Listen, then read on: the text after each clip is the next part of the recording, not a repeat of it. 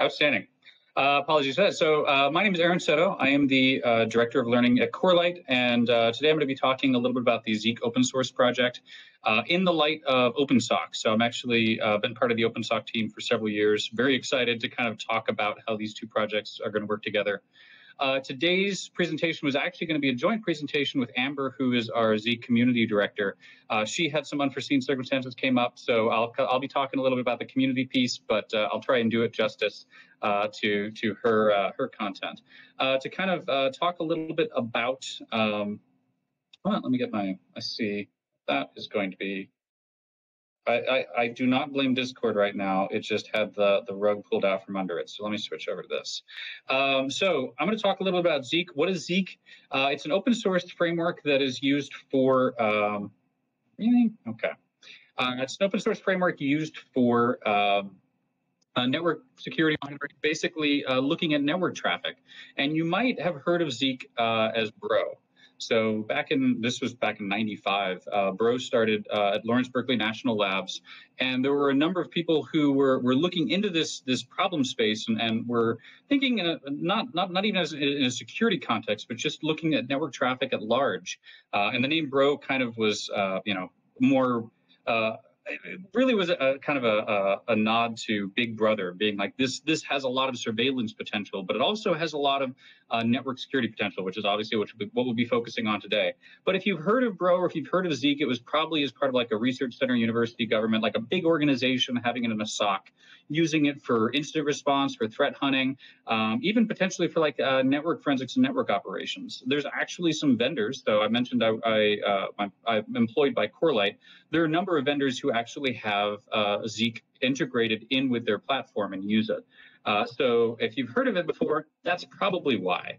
Uh, Zeek itself is actually very customizable, very extensible. It's its own, it's really kind of its own language. Uh, and there's a lot of, that you can do with Zeek in, in terms of just having scripts and plugins and protocol analyzers and, and, and kind of these components that work together to analyze your network traffic.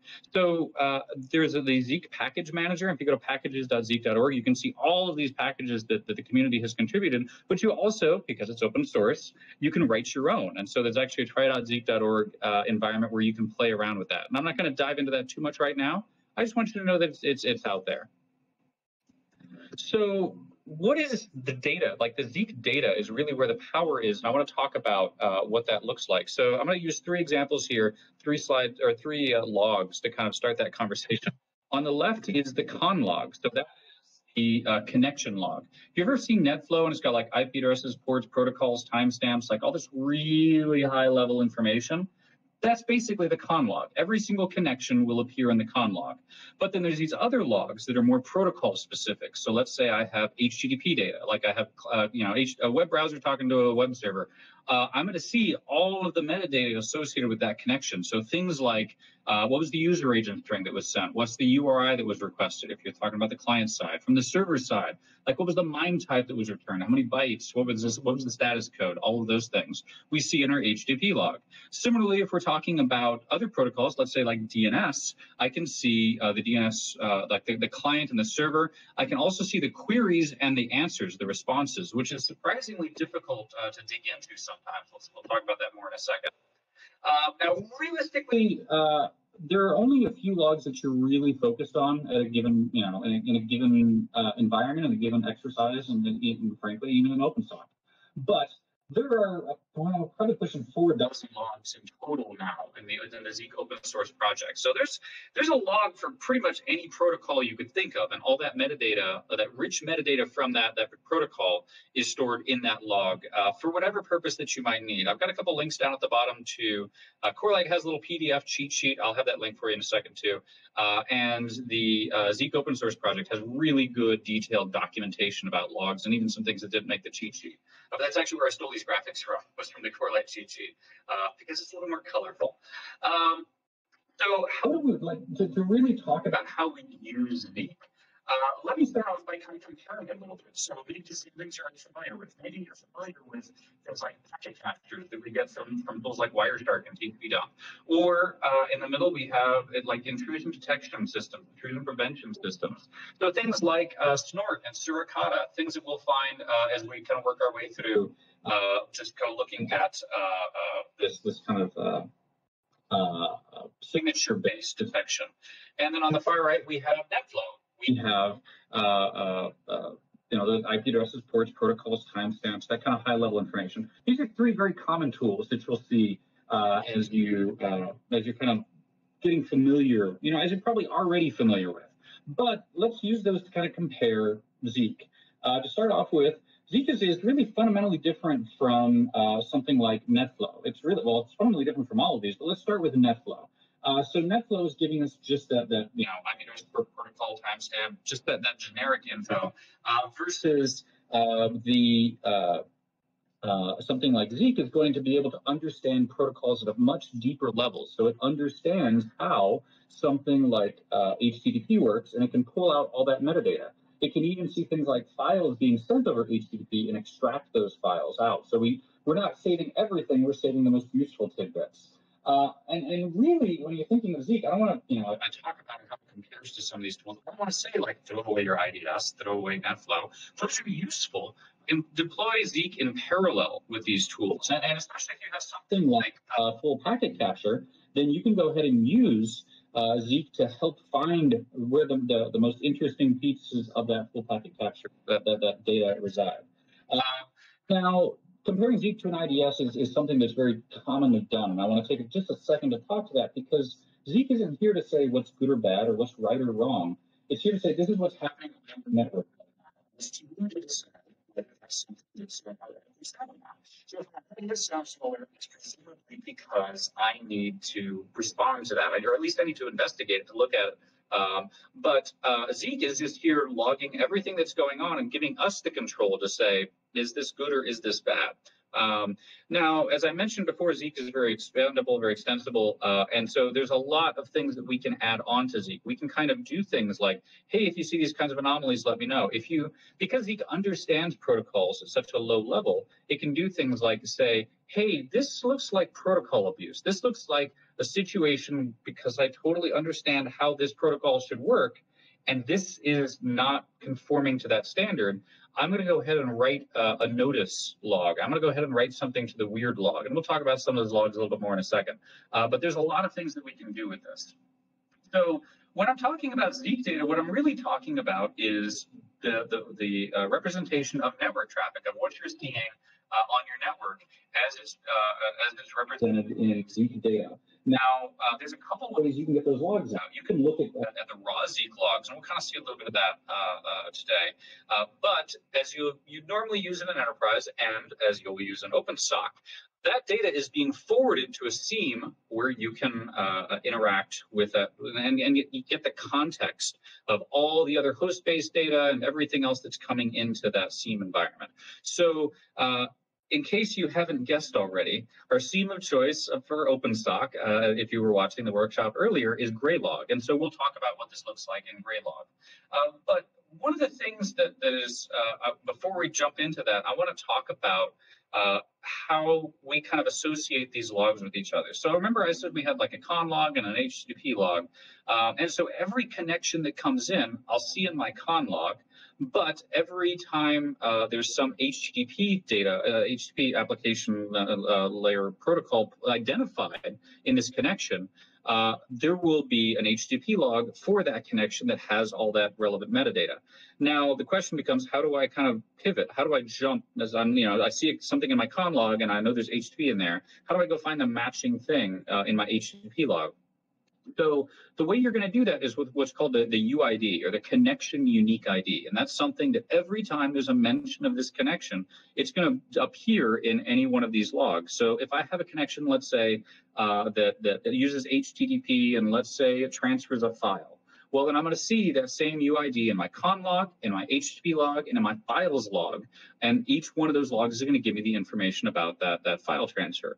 On the topic of file transfers, there's another type of unique ID called the file unique ID. And similarly, if I kind of want to pivot around and investigate a file that's uh, that's happening or that, that, that, I'm you know interested in, um, then I can use that file unique ID and search through logs and see what connections are associated with that uh, unique ID. So, all right, I've done a lot of vague explanation. I want to dive into like one pretty thorough use case. And I want to do this for two reasons. One, I want to get you in the mindset of, of, of how an incident responder thinks. And for some of us, that's not a stretch. And for some of us, that might be a little new. Uh, but the second thing I want to do is I want to show you how you would use just Zeek data to work through a particular incident. And so let's say I'm, you know, fresh out of college or fresh, uh, uh, you know, out of another career field. I'm pivoting, uh, and I'm, and I'm, you know, just joined this team. Uh, I, am a SOC analyst. I'm entry level, uh, and as is, you know, tradition. Uh, I am awarded the honor of the night shift, and I'm sitting here and I'm watching alerts roll in, um, and it's my job to kind of triage these alerts. So I'm trying to figure out uh, when something comes in, do I have uh, like a playbook or procedure, something that I can fall back to to say, I know how to handle this. We've seen this before, or I have something in my playbook uh, that I know how to how to resolve this myself. Uh, is it maybe uh, instead something that I can I can dismiss? I can say, well, this is a false positive, or this is not actionable. Okay, somebody's port scanning doesn't matter. I can't really do anything about it. Uh, or in you know the the third case, do I need to escalate this? Do I need to bring this to some senior member of my team who can then, uh, you know, spend a little bit more time looking at this or maybe has the expertise uh, to work through this. And so uh, it's 2 a.m. I'm sitting here, I'm watching these alerts roll, and I'm trying to figure out, can I deal with this? Can I, you know, can I, can I deal with this myself? Can I dismiss this? Do I need to escalate this? And uh, alert, an alert comes in from our intrusion detection system, and it says, hey, I saw a DNS request leaving the network, and the host name in that DNS request matched a signature. So the IDS raised an alert to say, I know that. I, I have a signature that says that's associated with a known command and control server, a C2 server. So what am I going to do? Can I can I deal with this myself? Do I can I dismiss this? Do I need to escalate this? And if I just have Zeek data uh, to look at this, uh, I might start off in my DNS log. So I mentioned there's a, a, log for DNS, and this is a DNS related alert. Let me turn to my DNS log, and I'm going to see uh, the workstation or stations potentially that have, have, tried to reach out and look up that host name the DNS servers that responded to that, which maybe is something internal, maybe it's you know an external DNS server, depending on how if I can you know block that from leaving my network.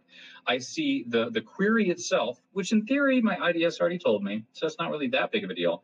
Uh, but the big one here is the answer field, and it's literally called answer. That's a field in your DNS log, and it is the response that was provided to the client. So in this case, I know the client queried for this uh, this host name. I want to know what IP address they got back. A lot of times, even with good DNS logging, you know, setup, if you have your DNS server set up to, to forward logs, a lot of times they won't give you that last piece. They won't give you the answer, the IP address, and I need that because I need to pivot from my DNS log to my con log. I the, the question that I'm asking myself right now is, okay, I know that there was a DNS request leaving the network, but was there a connection that followed that to the IP address that was resolved?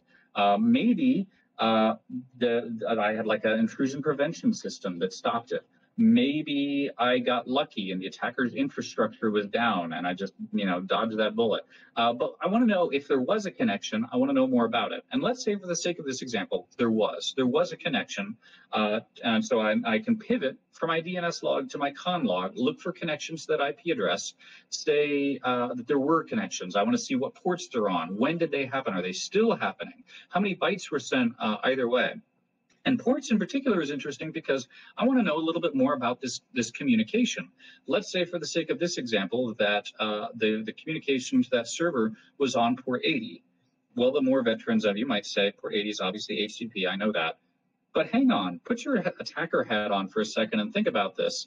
An attacker doesn't have to use the port that for its intended purpose. So just because they're on port 80 doesn't mean they're using HTTP But one of the cool things Zeek does is it has what's called dynamic protocol detection, DPD. So I'll see in my conlog a field called service that tells me uh, the protocols identified. Zeek knows, regardless of what port it's on, what's going on inside that connection. And so it'll say, yep, I know there's HTTP inside of here. I don't care that it's on port 80. I mean, obviously that's that would, what, what that'd be what we would expect.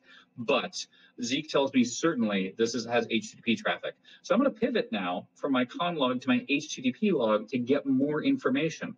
Uh, and how do I pivot between those two logs? the connection unique identifier, that UID field. Remember that appears in every single log uh, that has information about this connection. So I'm going to look to that UID field uh, and look to see uh, if I have, well, have a matching entry in my HTTP log. And in there, I'm going to see things that uh, relate to this connection, things like user agent strings and cookie values, get post parameters, things that the uh, browser sent as part of that request. And also I get some response information. And these are things that uh, you'll hear the term uh, indicator or an IOC uh, that stands for an indicator of compromise. These are things that might help us figure out exactly what this is, what malware strain we're dealing with. And that's something that, again, I might be able to go back to previous incidents and playbooks and community resources and say, hey, what is this thing? Does anybody, does anybody recognize this string that looks a little bit weird? Do I know what malware that's associ associated with? Um, and so, if, if so, I might be able to handle this myself. I might say, all right, cool. Uh, this is an incident that I, I, know how to resolve. I'm going to go ahead and quarantine, you know, kick that machine off the network. Uh, I'll contact the user. We'll start an IT ticket, get it reimaged, and um, probably reset the user's password. Um, but okay, I can handle it, right? Uh, but I like being the worst case scenario person. What happens if I don't know how to deal with this? What happens if, if I'm if I don't have uh, any indicators that I can pull up and say I know what malware strain this is? Let's say, for the sake of this example, that this is a downloader. This is a piece of malware that kind of uh, establishes you know a foothold on this compromised workstation, and then beacons out to its C2 server and starts downloading additional malware, and it's going to bring back. Uh, tools, things that might potentially uh, let the attacker kind of expand their foothold on this on this workstation or within this network. So in that case, I would see all these HTTP connections, and I would see uh, mentions in my files log. So I could pivot from the HTTP log to the files log using that connection ID again and say, hey, what files are being transferred here? Specifically, I'm looking for, uh, so Zeek has the ability to extract MD5, SHA-1, and SHA-256 checksums. And so these checksums are things that, again, can be an indicator of compromise. Another IOC that I can use and go back and say, what is this? What, you know, maybe I don't know what the downloader is, but I can kind of know what these other tools are, and I can start to understand what the capabilities of this are. I can also look around my network and see what other machines have seen those those hashes, and, and maybe there's other machines that are part of this uh, compromise that I'm just now discovering now. Um, but uh, let's let's say I don't know. I like being the worst case scenario person. Let's say that uh, the attacker gets a foothold on that machine and starts deleting evidence. Which you know, putting my OpenSOC hat on for a second, it's been known to happen. So let's say the attacker goes in and starts to clean up after themselves, and I'm like, well, great. All all the information on that endpoint now that the evidence is getting erased.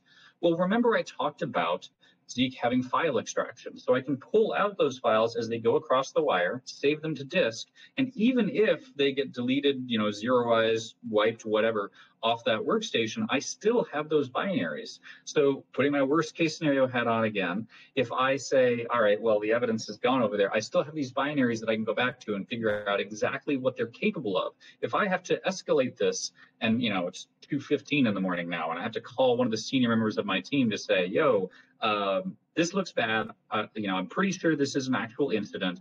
Uh, here are the things that I know so far. I know the IP address that we're beaconing out to. I can tell you all the hosts that are talking to that host name or that IP address. Uh, I have some indicators that we can potentially write some IDS signatures for so we can catch this in the future. I have these SHA-1, uh, MD5, and SHA-256 hashes that I we can you know search the network and I can tell you what machines have this this uh, malware associated with them. So I figured out in the scope and I mean both in time and in the hosts associated with this. And if we have to bring in, you know, uh, reverse engineers or, uh, you know, malware analysis people, they have those binaries they can start tearing through. So even in the worst case scenario, I've got a lot of evidence here, even, even without talking about anything on the endpoint at all. So I know I'm, I'm, i belabor this uh, quite a bit, but I think it's it's powerful to talk through kind of the questions that you'll be asking yourself as you're going through something like an OpenSOC exercise or a real world exercise. They're shockingly similar. Uh, and also to understand where you go in the Zeek data to, add, to uh, get, uh, understand those questions a little bit better. So there's there's many ways, as I mentioned, that, that the Zeek data can be represented. So here I have a screenshot of Splunk, which is, you know, you can get a free version and pipe the data into Splunk. And so sure, that's a thing. Um, you know, if, if, you're a Splunk person. Um, we had a talk earlier on Kibana. And so uh, similarly, if you're using the, the Elastic, uh, the Elk stack, you can feed uh, this data into Kibana and look at it uh, that way as well. Uh, but our tool of choice in OpenSOC is going to be Graylog. And so you should get comfortable with what this looks like uh, in Graylog. So to start off with, um, when you get access to the OpenSOC environment and you go to Graylog, you might look at you end up uh, end up looking at a screen like this. That the you know when you click on the streams, you're just going to get the stream of data. This is everything that's going across the network right now. It's a ton of data, right? Um, and so as you're looking through this, I want to talk through a little bit about the Graylog interface, but also we'll we'll use it to kind of talk about what the the Zeek data will look like. So to start off with, you'll notice that I've uh, typed a query into uh, my Graylog window here that I am looking for Zeek data. Specifically, I am uh, uh, asking Graylog to search for a field called event type, and I want you to tell me when that event type equals Zeek. And so this is going to limit down uh, the uh, the events that are returned back to me as part of this this UI. And so the other, this is the gotcha that you'll find again and again um, uh, especially in OpenSOC, where like you'll be looking for an artifact and like I can't find it, it's not here, I don't know where it is. It's because you probably have your search set to like the last five minutes, and if you're looking for something that happened several hours ago, well, yeah, you're not going to see it. So I'm also going to go ahead and turn down or turn up, I guess you could say, uh, my my search window to a larger window. Maybe I have a particular time span and I can input that, but but right now I'm just kind of taking a, a casual stroll through the data. Uh, so with those things, I'm going to scroll down a little bit.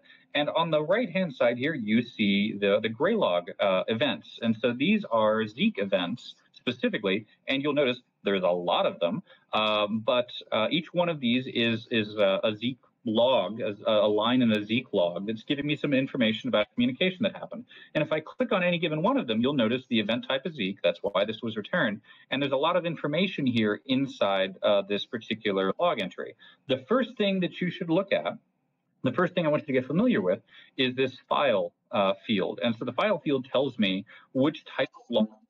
In this particular case, I'm looking at a MySQL log or MySQL log. So this is going to have information about a database transaction uh, that occurred here. Now, if you look down a little bit further, you will see the message, which is the line. Uh, this is the these are the individual fields of the MySQL log.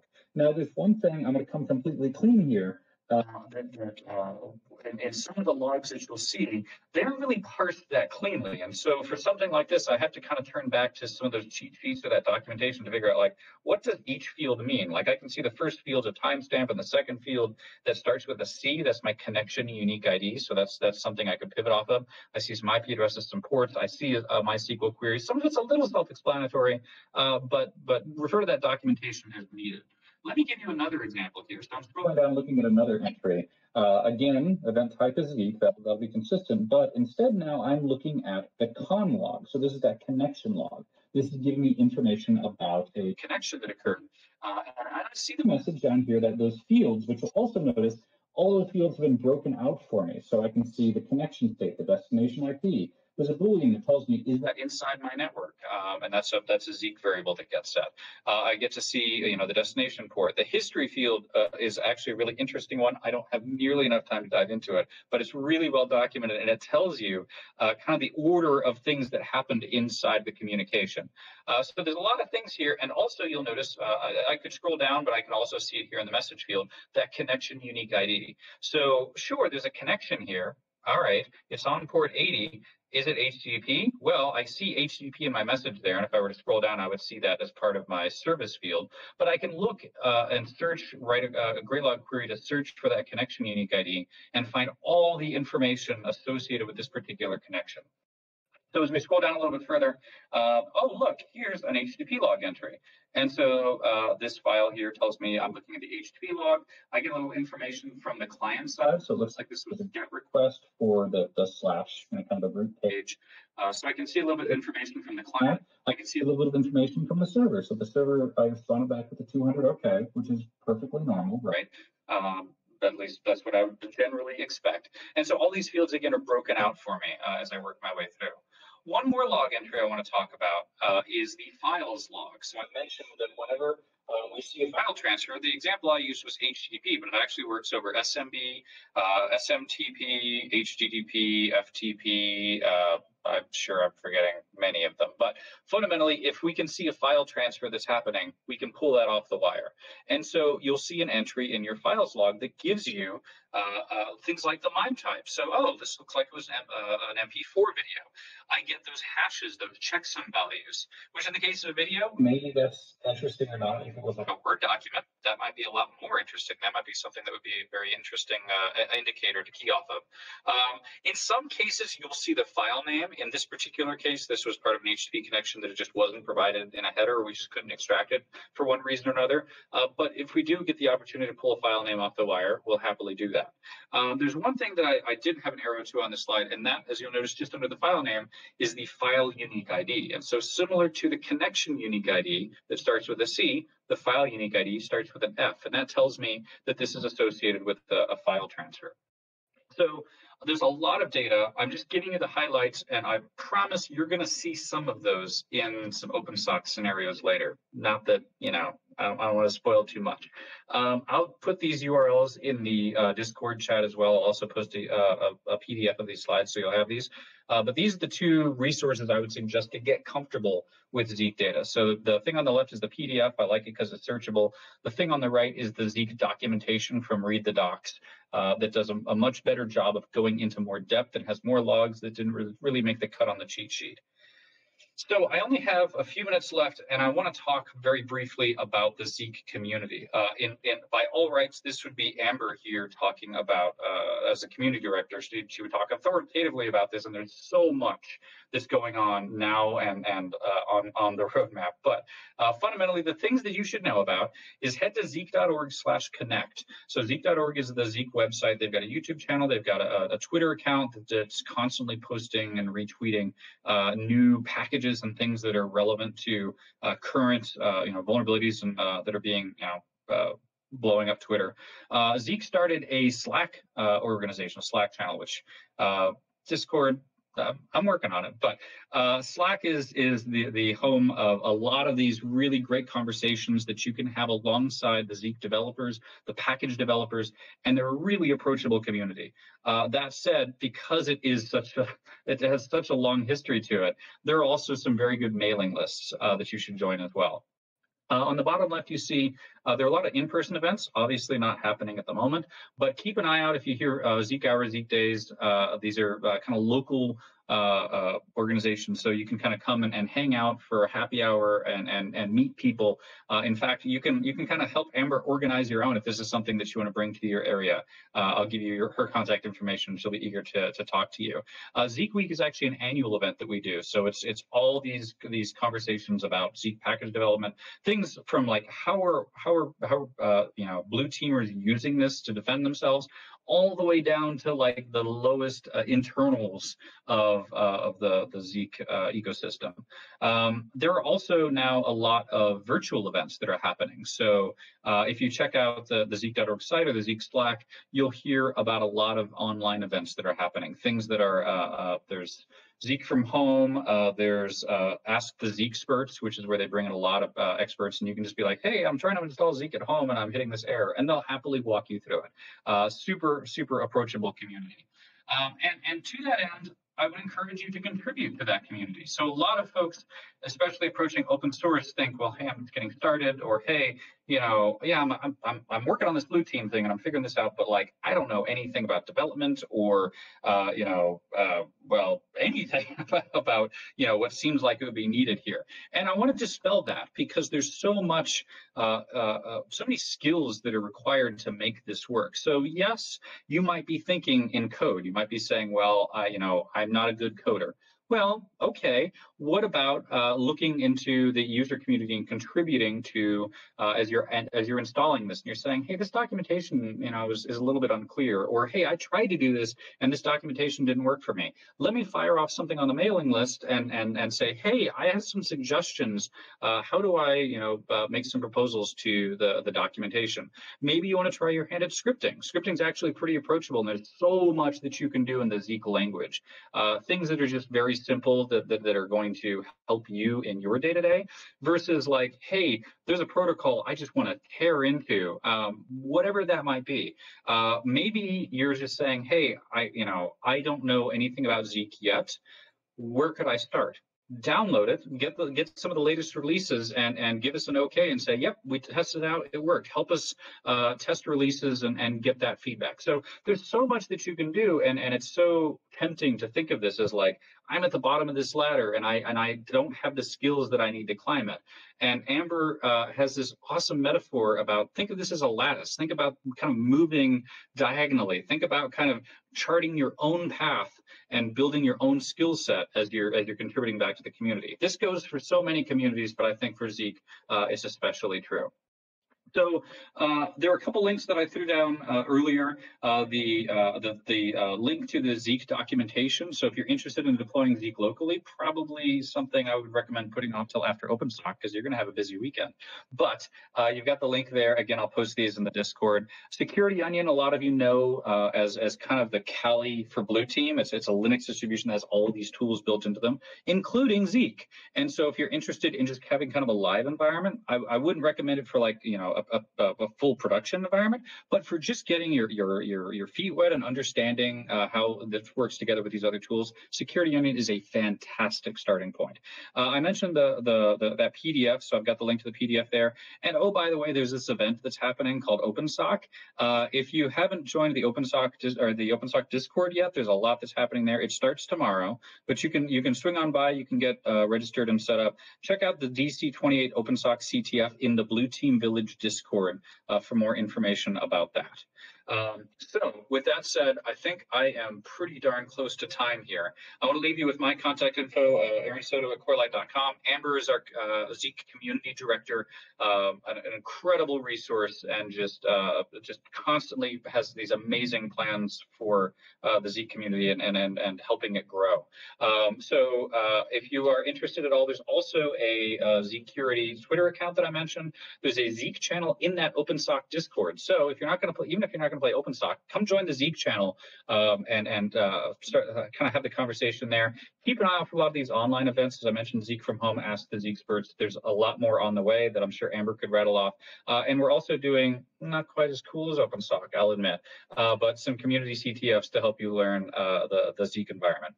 Um, so with that said, I know I am pretty darn close to time.